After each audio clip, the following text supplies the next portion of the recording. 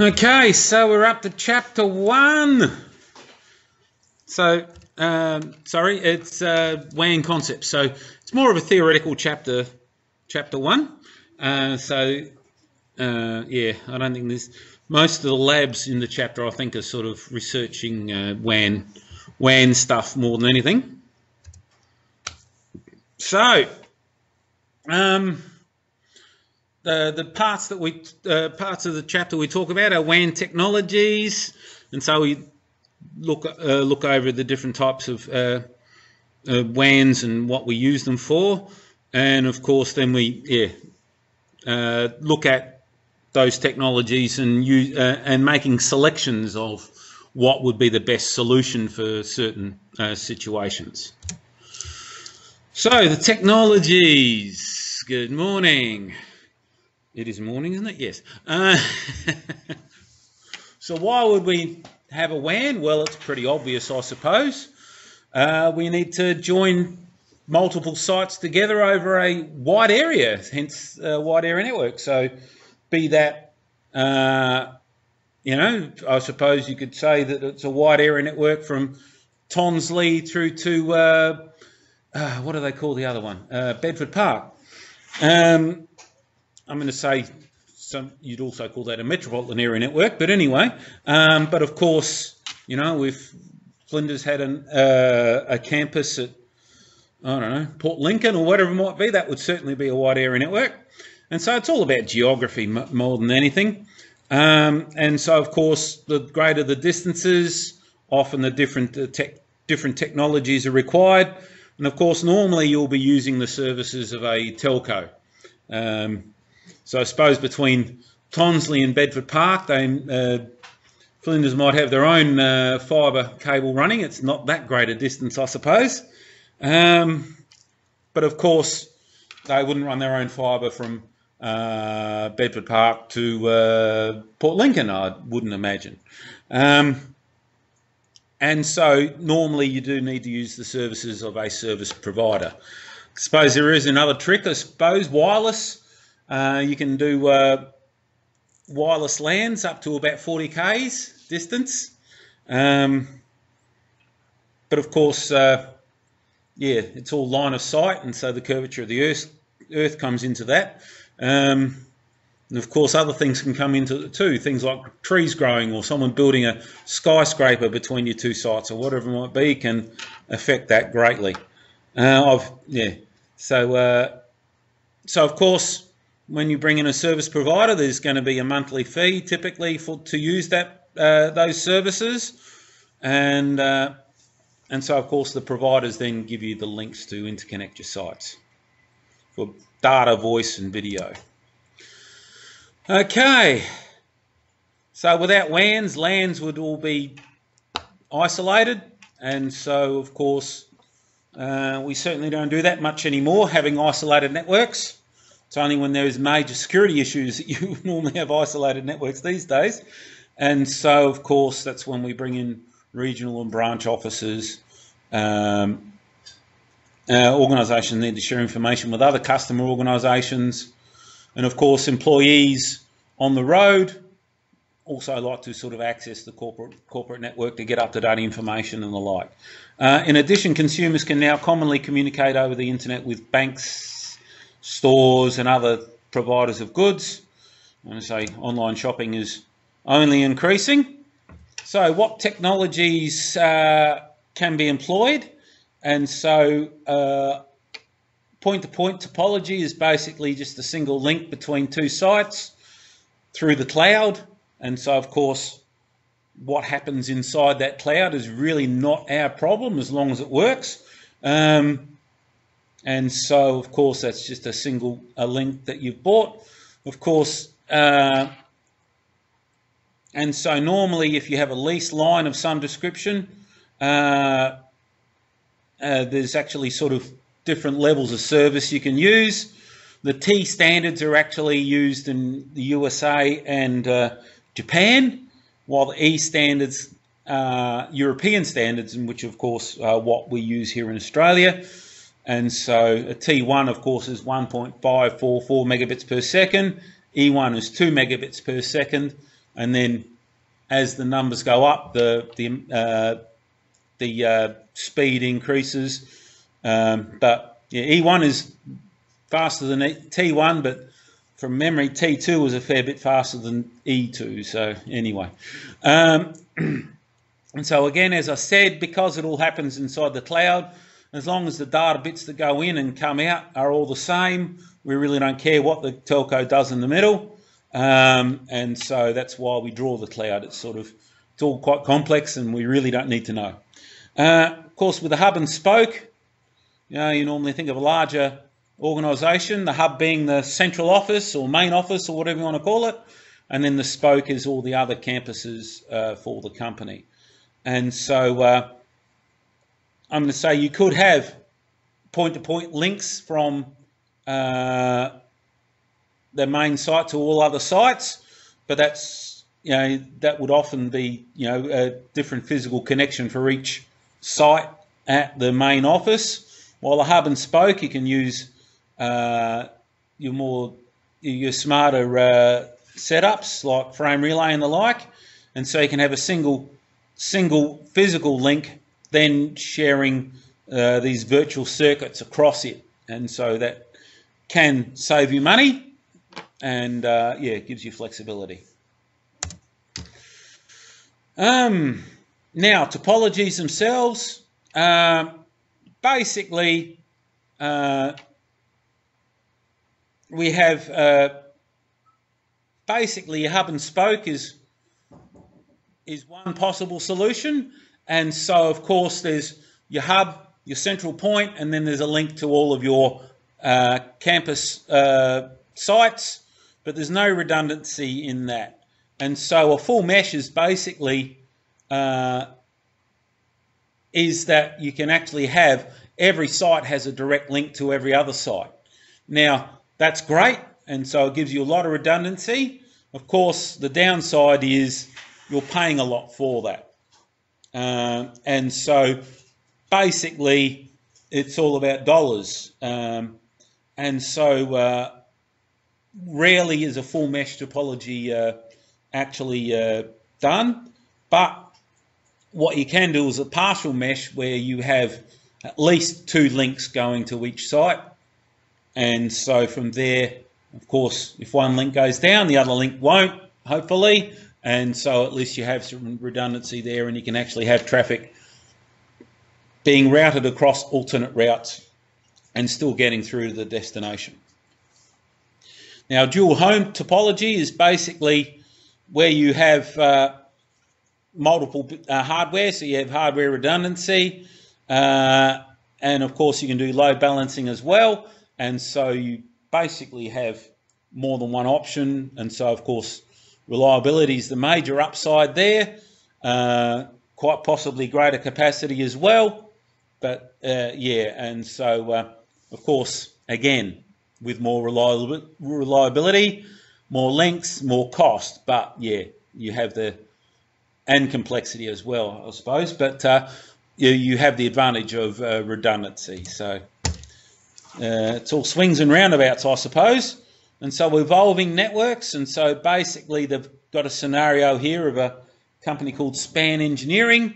Starts out as a, uh, a small business and then it grows. Uh, and so, of course, in slow economic times, many business fo- businesses focus on increasing their profitability by improving the efficiency of their existing operations.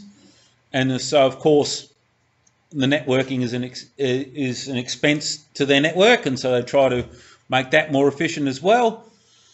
To justify such a large expense, many companies expect their networks to perform optimally and be able to deliver in an increasing array of services and applications support productivity and profitability. Uh, this chapter will focus on a fictitious company called Span Engineering, and we look at how Span's network requirements change as the company grows from small local business into a global enterprise which is, I suppose, what most businesses would like to do.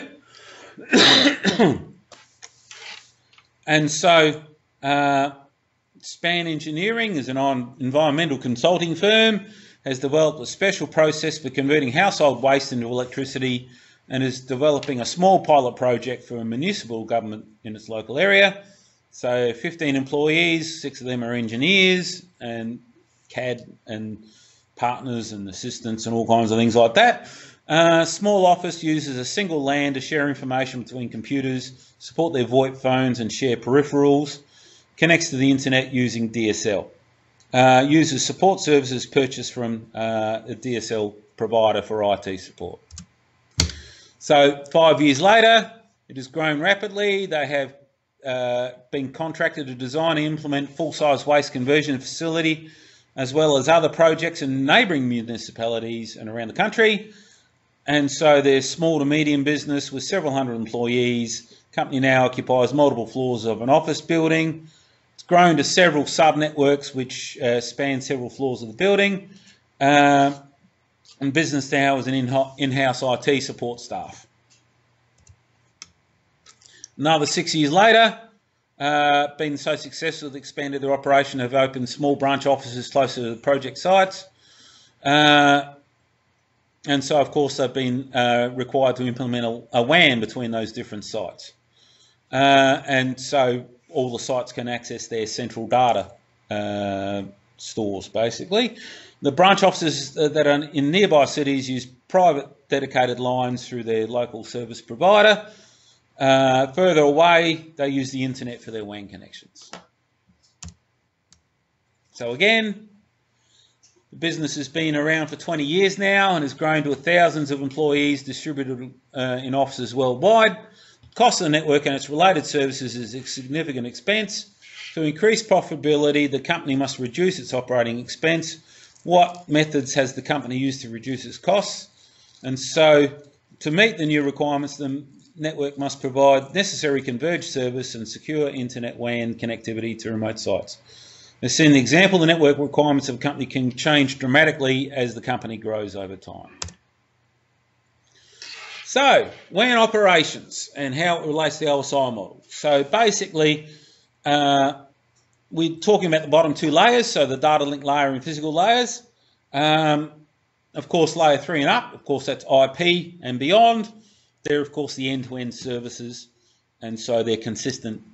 While the bottom two layers are, you know, on a per link basis. And so, uh, and so of course, a physical layer is all about your physical standards, and uh, data link layer, of course, is about your addressing, flow control, and encapsulation.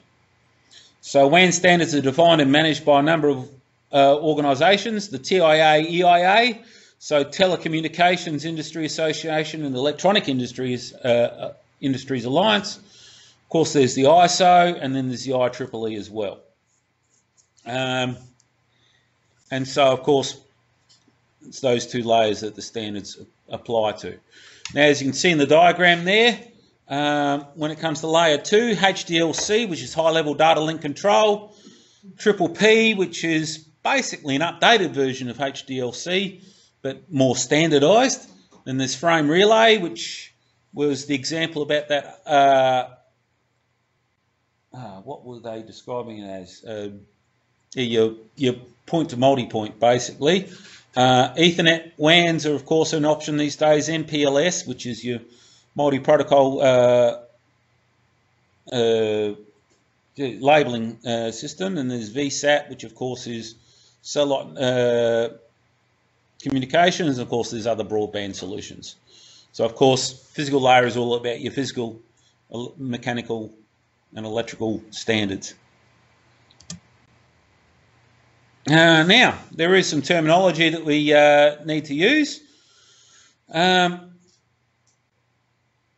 so basically, of course, as, as was said before, typically when you have a WAN, you will need to use the services of a uh, external service provider or carrier. And so basically from there you you have to have what's called a demarcation line. So you can see that dashed line through the middle of the diagram. Um, and so basically that's the border between your network and their network. And so it actually is different. Uh, the Americans do it one way and the European-based mob do it the other way. The Americans basically have the demarcation point at the plug in the wall while the European uh, standard is basically uh, they also provide the DCE device that uh, connects your network to the WAN. And so the demarcation line is a little different between America and the rest of the world. Um, now, customer premises equipment, of course, is the stuff that you own. Um, and so it's your inside wiring and, and, and the like. While the DCE, as I said, that's uh, in the European side of things, that normally comes from the provider, and so that's part of their equipment. Uh, in the US, it's actually your equipment, so it, it depends. And so, yeah, uh, and so DCE, data communications equipment, I've probably used that term previously with the other term of DTE, if you remember, data terminal equipment. And so DCE, of course, is your layer 2 device that uh, coordinates the link between your site and the other sites. So data terminal equipment, as I said, so the difference between DCE and DTE, if, I, if you can't remember, is layer 3 and above devices we normally determined to be DTE. They're actually a source or destination of uh, traffic, while DCE just transmits other people's or other devices' uh, uh, uh, traffic. And so, as I said, there's the demarcation point, or sometimes just called demarc. Uh, and so, as I said, that's the that's the line in the sand between your network and their network. Uh, local loop, of course, is the the uh, run between your site and you know be that the telephone exchange or their office. Um, sorry. it's a guy I work with in town. Um, so, um, and so the local loop is the link between, uh, yeah, the central office and your site. Central office, of course, is you know the telephone exchange, whatever whatever it might be. Um, and then, of course, then there's their network. They're sometimes called the toll network because, yeah, you pay to use it. Um, now, how do we connect to uh, uh, the uh, network? And so, dial-up modems. Thankfully, we don't see them often. Anyone remember those things? Hmm? Got to admit, the last time I used a dial-up modem, I was very frustrated. When I moved house, I did, took a while to get broadband, and so I was using dial-up. And yeah, we ended up going. We well, this is ten years ago. Uh, we did end up going to Macca's and having a coffee and uh, using their Wi-Fi uh, while we were waiting. Um, yeah, bit slow. Um, and so they used the old the old legacy telephone network. You'd have trouble using them these days. Uh, you know, if you've got NBN in your house, it's basically not an option. Um, um, and even if you don't have NBN at your place, you'd probably have trouble anyway, because I don't know how many ISPs still have banks of modems. Um, so an access server is a legacy technology where the server controls and coordinates dial-up modems dial in and dial out user communications.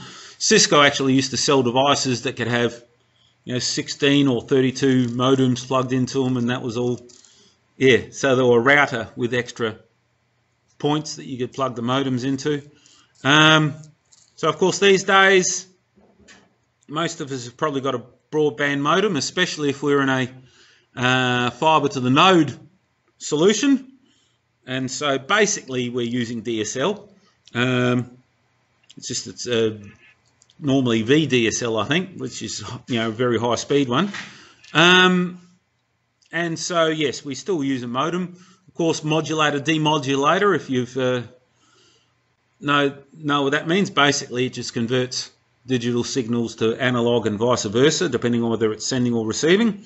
Um, so they work in a similar way, just of course broadband modems can deal with a lot more data at a, at a time. Now CSU DSU is basically uh, much the same as a DCE. It's a specialised piece of equipment that basically converts your data frames from your network into something that the uh, WAN can use. Um, and so, of course, we have routers, which of, uh, of course will be at your place typically, and then there's the core router that the uh, service provider will use, or depending on whether we're talking about them or whether we're talking about a big business. Um, now, there's uh, several ways you can connect to uh, connect two sites together, and one is to have a circuit switched network. And so basically, I suppose most people think of the old modems. And so basically you dial through, it negotiates a connection through the, uh, the network, as you can see by that orange line going through the diagram. Um, and so that's set up before you actually connect. Um, and then, then communication can work while uh, the connection is up. And then when you stop communicating, you will normally turn it off because you're normally tolled by the amount of connection time. And so you're trying to minimize that. Um, so, um, so uh, the two major solutions for that are PSTN, which is your public uh, switch telephone network, or there was the newer version that was supposed to replace it, ISDN, which is the Integrated Services Digital Network. Um, but really, it, ISDN was never really an affordable solution, and so not not all that many people used it. It was good for some small businesses, I suppose, because you had two separate circuits, so you could have uh, maybe a fax on one link or a, and a telephone on the other. Of course, these days, I suppose the who uses a fax these days, but a lot of people use the, you know your EFTPOS, so that will probably be your second one these days. But yeah, everything goes internet these days.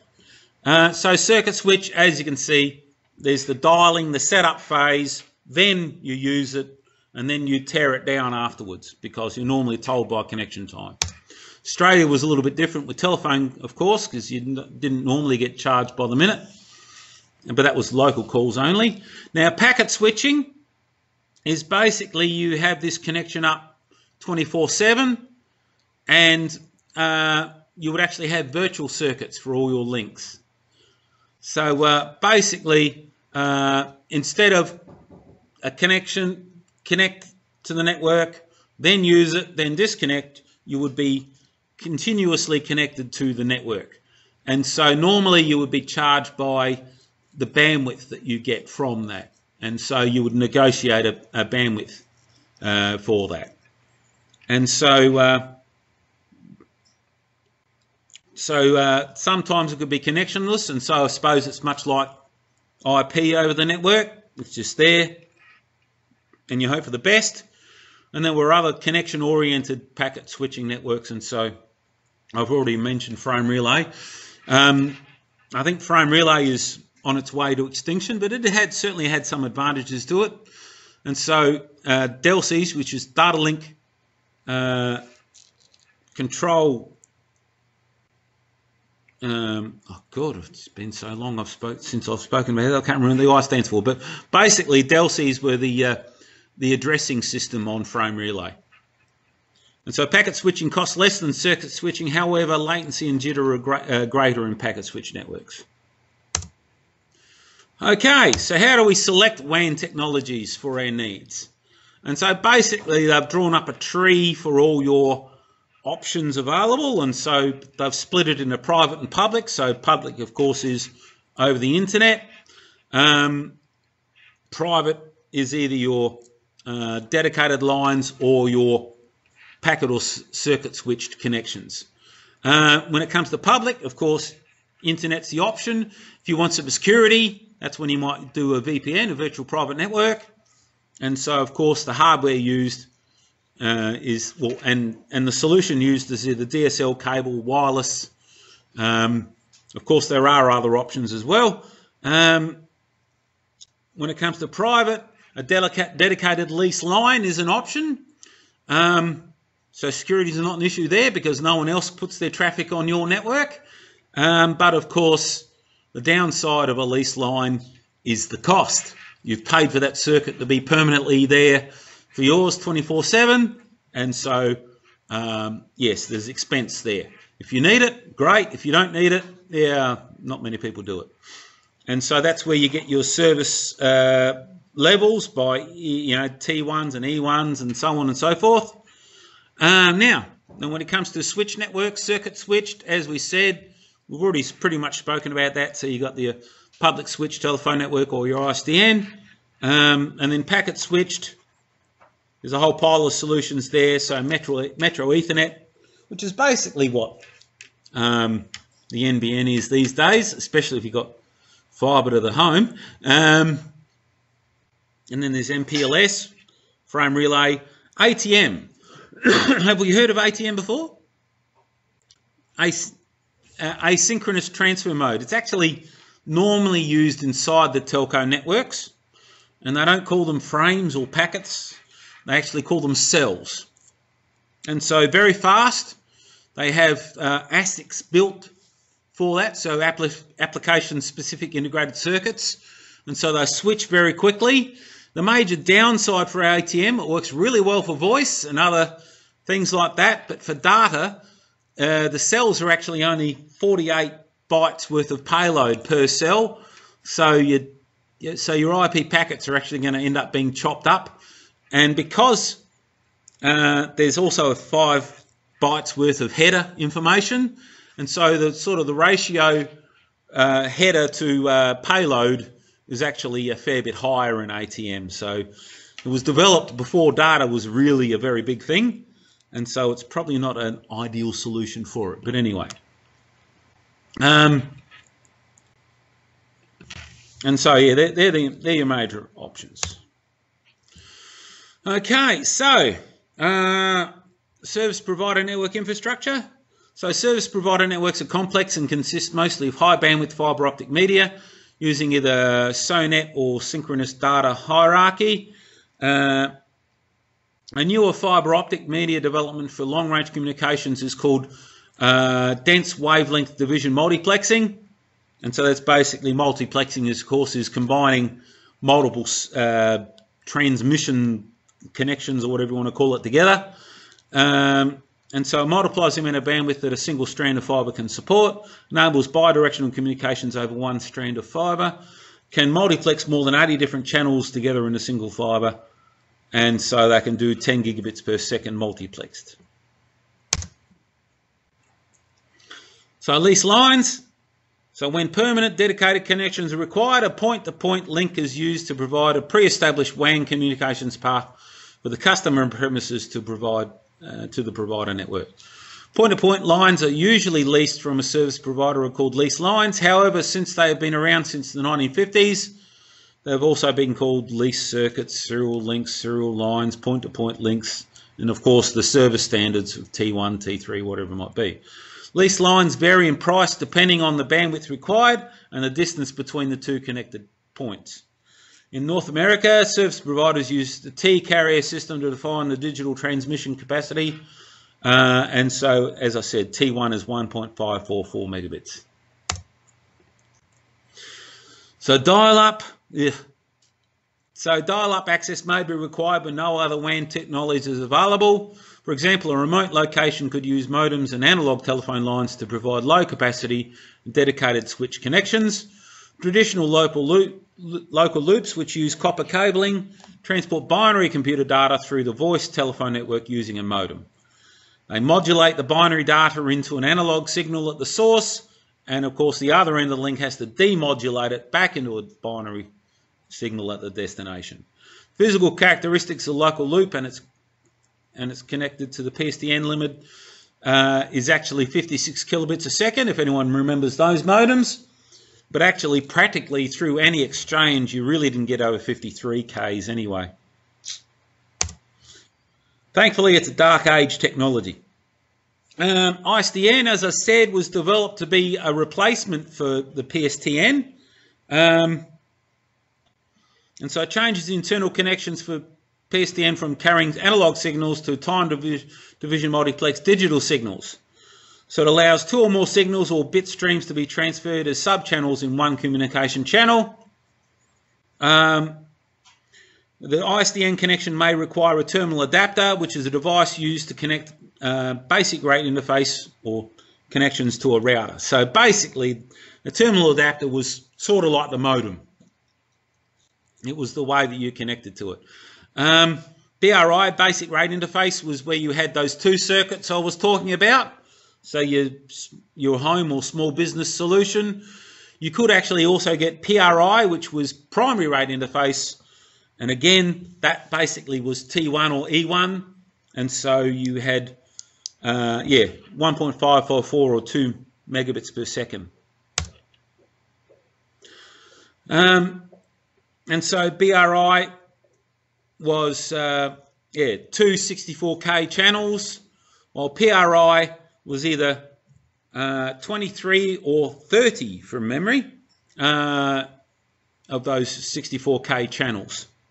Um, and so, of course, the Americans with T1 had 1544, and so it was the 23B channels, and uh, and I think it was 30 channels on the on the uh, E1 version of it.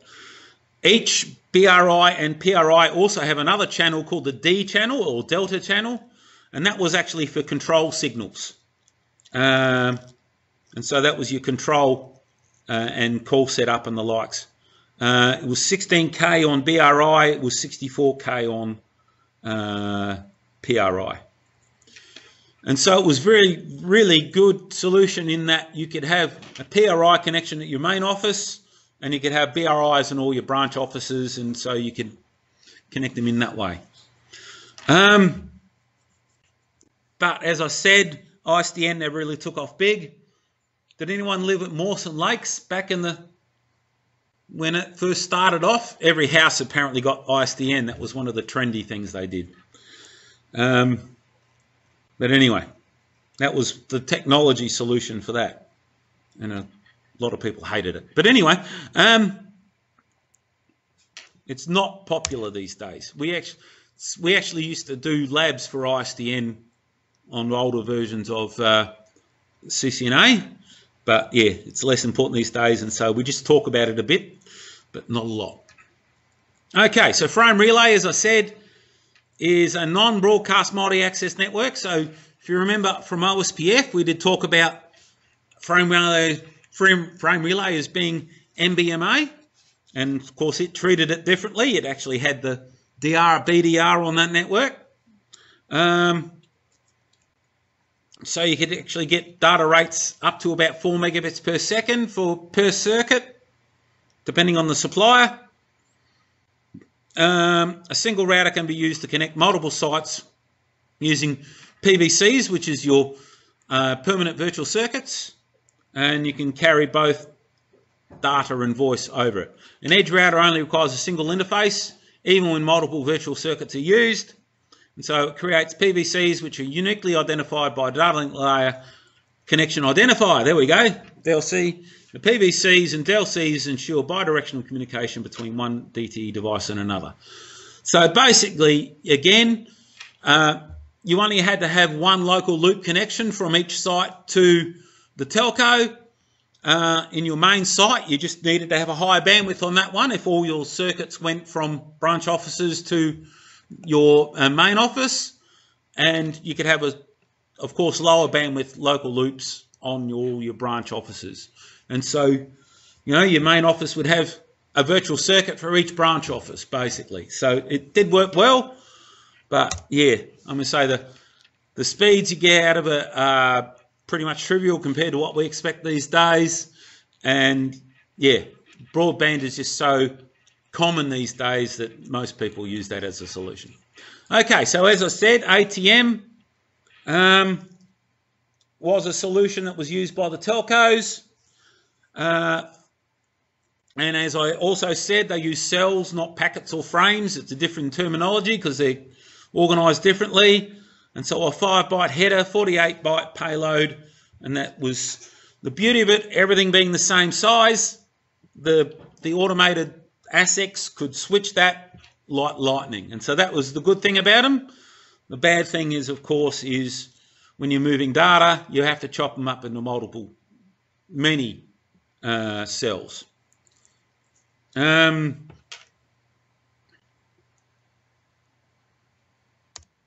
let's ask. that second last paragraph there. Typically, ATM needs almost 20% greater bandwidth than frame relay to gain the same volume in network traffic because of that extra overhead. You know, five bytes for every 45, 48 bytes of uh, payload, it, the ratio is not great. Um, so Ethernet WANs becoming more and more popular. Um, and so, of course, over fiber optic cables, so you get much longer runs out of it. Um, and so, yeah, uh, Ethernet over, yeah, uh, Ethernet WANs are certainly a solution. And so, yeah, they uh, the original maximum cable length for Ethernet was one kilometre. With fibre optic cable, the maximum length is 5 Ks uh, or 70 Ks if you use the right standards. Uh, service providers now offer Ethernet WAN service using fibre optic cabling, which provides several benefits, reduce expenses and administration, easy integration with existing networks, and enhanced business productivity. Uh, Ethernet WANs are commonly being used to replace frame relay and ATM WAN links. And so, um, so of course, Ethernet's wonderful, but of course there's no authentication solution, is there?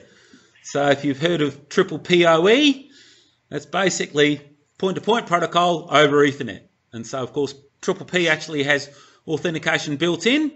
And yes, we do have a chapter on Triple P. I think it's next week. So uh, we will actually be looking at the authentication system there. And so, in reinventing the wheel, uh, building in an, ether, uh, an authentication system Ethernet, I went, nah, we've already got one. So I just sort of plugged them together and away they roll. Now, MPLS is your multi-protocol label switching is a multi-protocol uh, high-performance WAN technology that directs data from one router to the next. Normally, that's again internal to your uh, your uh, providers, and so uh, MPLS is based on short path labels rather than using IP network addresses. So it's called multi-protocol since it has the ability to carry any payload. Doesn't have to be IPv4, can be anything. It uses labels which tell the router what to do with a packet. Notice in the figure to the left that different sites can connect to MPLS Cloud using different access technologies.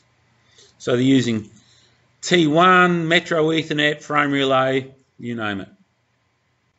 MPLS can support a wide range of WAN technologies, and so, yeah, the service providers do uh, like that a lot. So VSAT, of course, is the satellite uh, solution.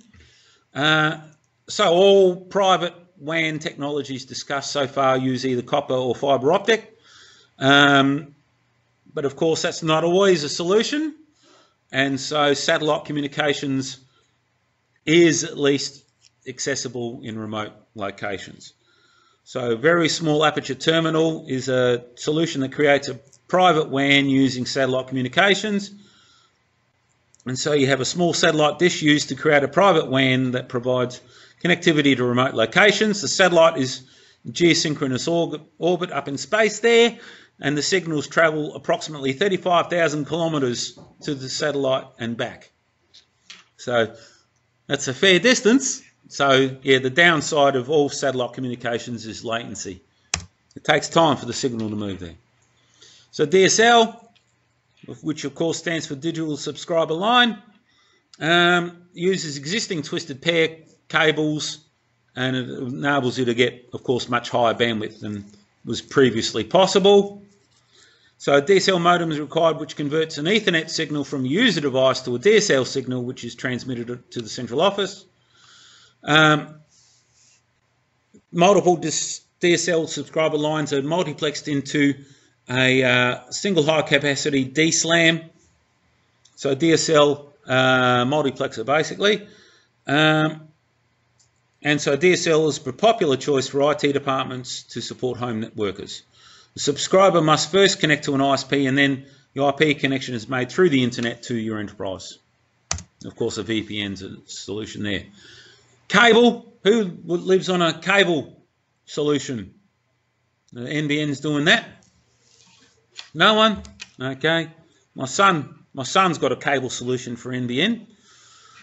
Um, So, network access is available from cable television providers. Of course, it's a bit different here in Australia. It's been taken over by the NBN. Um, using coax cable, which allows for greater bandwidth than the conventional uh, telephone local loop. Cable modems provide an always-on connection and a, a, simple installation.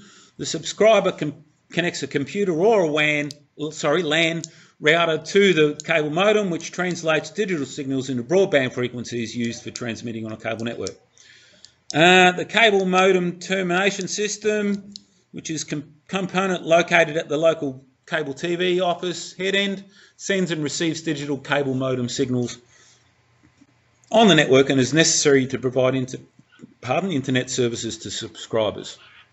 Now, basically, uh, we have whoever it might be working, the teleworker, it's labelled there, but you know, just someone at their home. They have a router which then hooks into the cable modem, which then of course goes over the cable. Now of course, um, um, cable using the coax, um, basically the shorter the coax run the better because uh, it's copper to start with, but also everyone who's connected into that into that coax shares the bandwidth. And so uh, um, it will then change over to fibre at some point for the trip back to the central office, basically. Um, and then from there, of course, it goes through this CMTS uh, to be disconnect, uh, split from the cable network and then going onto the internet. Wireless. Um, so, until recently, one limitation of wireless access has been the need to be within local transmission range, so about 100 feet or so of a wireless router for a wireless modem. The following new developments have come. So there's municipal Wi-Fi, and so yes, some councils set up Wi-Fi around their cities, um, and so you often get it for free. Or of course, there's also WiMAX, which is a fixed wireless solution. Um, and so that is actually another part of the NBN plan for semi-remote uh, subscribers. And so basically uh, from there, you can hook your house up via an antenna on the roof basically to, to uh, an antenna that's placed hopefully within uh, line of sight. I did actually have WiMAX at my house. That was what the wait was when I was using the modem, was getting the WiMAX set up. Uh, it worked quite well. Until a tree grew between my house and the antenna, and that was a bit of a bummer. But luckily, it only cut off my signal about a month before NBN came to my area. So I used 4G for a little while until the NBN came. So that was uh, all right. So, but yeah, I was I was able to get more than 40 megabits a second out of the WiMAX, so that worked nicely for me. Um, of course, again, because it's wireless, it's shared, so um, yeah, downloading at 2 a.m. was probably a lot better than at 8 p.m. Um, but anyway. So WiMAX uses a, net, a, network of WiMAX towers that are similar to cell phone towers. Uh, you must be within 30 miles of the tower. And of course, there's also satellite, which is wireless as well. We did talk about VSAT, but there are other solutions as well. Um, and of course, NBN has that for the most remote people. Of course, I, I knew a guy who lived actually up Montacute Way, and he had to use satellite because it's too hilly for WiMAX because it's a line of sight, and so yeah, he had to use satellite. Um, Okay, and of course, I think this is pretty much the last solution, uh, is your cellular networks. So 3G, 4G, 5G's slowly being rolled out now. Um, and so basically, um, again, you can use the cellular network. Um, it does work, and they are getting faster all the time, but normally it's going to cost you more. Um, you know, there's not too many plans where you've got unlimited data on 3, 4 or 5G. Um, and so LTE is just another name for a different technology of 4G. 3G, to actually claim that to be 3G, you actually needed to have a certain type of service. 4G is just faster than 3G. Um, and so increasingly cellular services and other wireless LAN, WAN technology used to connect users in remote locations. Phones, tablet computers, laptops, even some routers can communicate uh, using cellular. These devices use radio waves to communicate through a nearby mobile tower. The device is a small radio antenna and the provider has much larger antennas sitting on the top of the tower somewhere within uh, miles of the phone. And so of course VPN is a way to get your public internet connections to then become private. Um, and so, of course, that uses encryption. Um, instead of using a dedicated layer 2 connection or like a leased line, you can actually use your DSL or whatever internet connection and uh, make it private using VPN. So that is certainly a good solution and a commonly used solution these days. Um, and so it saves you money, gives security, it's scalable, and it's compatible with your broadband uh, technologies. And so the two major types of VPNs are site to site, where you have router on the main office, router in the branch office, and the, they encrypt the communication between the two sites. The other one is a remote access one, which is your small office, home office, traveling salesman alike would connect to a VPN server and then they can get to your site securely. So basically, how do you choose a WAN link? And so you've got to ask yourself quite a few questions. And so what is the purpose of the WAN? And so, yeah, so is it site to site or is it from home to a uh, homes to your site? You've got to think about those solutions. What's the ge geography involved? So how far is it? and then what kind of traffic do you want to get through it? And so the, these are all questions you need to ask, and from there, that's when you actually can make an intelligent answer to that question or questions. Should it be private or public? Um, for public, you know, VPN is an option that you can consider. And so, of course, dollars are also an issue that you've got to consider. All right, we've just about finished, just on time. So we'll we've looked at the WAN technologies available and we look at how they satisfy business requirements as well. There's the logo. All right. So there is a recommended activity for chapter one. Um, but from memory, I think it's just a bit of a research one. So um, just uh, so yeah, uh, that's about it. There's not a lot, not no nowhere near as many labs for CCNA4 as there were for the previous ones.